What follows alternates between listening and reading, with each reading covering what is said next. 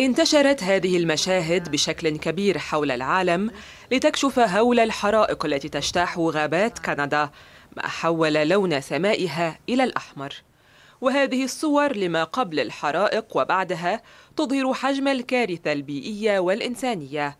يلو نايف إحدى أكبر مدن شمال كندا والتي يقطنها عشرون ألف نسمة مهددة بخطر وصول النيران إليها في نهاية الأسبوع.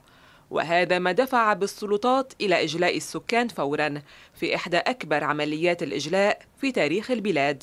فكندا تكافح حالياً قرابة 240 حريقاً من أصل 1100 حريق اندلع في أسوأ موجة تشهدها المنطقة على الإطلاق بسبب تداعيات الاحتباس الحراري والجفاف وموجة حر غير مسبوقة. الكارثة تسببت بطوابير طويلة في الساحات العامة وفي أروقة المطار. وبسبب الضغط الشديد طلب المسؤولون من الأشخاص الذين انتظروا طوال ساعات للصعود على متن طائرات الإجلاء المحاولة مرة أخرى السبت. وفي ظل الفوضى العارمة تواجه شركتا الطيران الرئيسيتان في البلاد انتقادات بسبب ارتفاع أسعار تذاكر الطيران ورسوم إعادة الجدولة.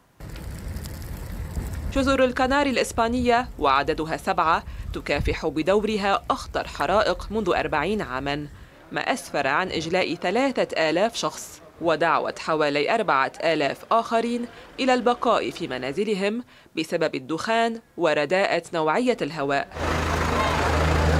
النيران اندلعت بعدما شهدت الجزر موجة حر تسببت بجفاف شديد في المنطقة.